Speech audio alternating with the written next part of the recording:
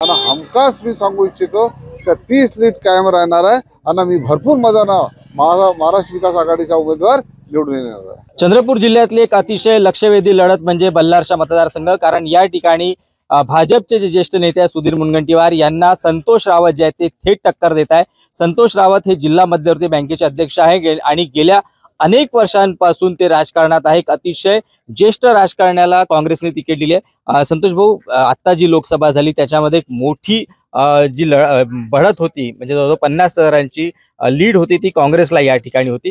त्यामुळे कशा प्रकारे तुम्ही आता ही लढत बघताय? कारण मुनगंटीवार तुमच्यासमोर आहेत. मुनगंटीवर असले तर काय झाला? माझा विचार विचार शंभर टक्के निश्चित होणार आहे. स्थानिक मुद्द्याला धरून मी हे निवडणूक लढत आहे आता तुम्ही हे काम पहा. हे रोड आहे मेन रोड आहे.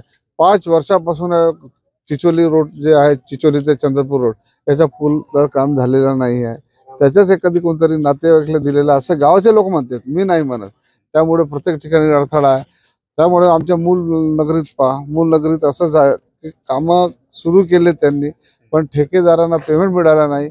एक तर देयक अभावी असेल किंवा हेतुपुरुषाचं काम होत नसेल तर लोकांना अत्यंत त्रास होत आहे. तर त्या मुद्द्यावर जबरांजोत ज- पट्टीची समस्या आहे. डब्ल्यू सी एलची याच त्या बोलतो या ठिकाणची समस्या आहे. त्यानंतर पाणीची समस्या आहे बेरोजगारांची समस्या आहे. समस्येचा डोंगर आहे. त्या मुद्द्याला त्या गावात जाऊन त्या मुद्दे उचलून मी त्याच्यावर त्यांना उत्तर देऊन आणि हमखास मी सांगू इच्छितो का तीस लीट कायम राहणार आहे. आणि मी भरपूर मजानं महाराष्ट्र विकास आघाडीचा उमेदवार निवडून येणार आहे.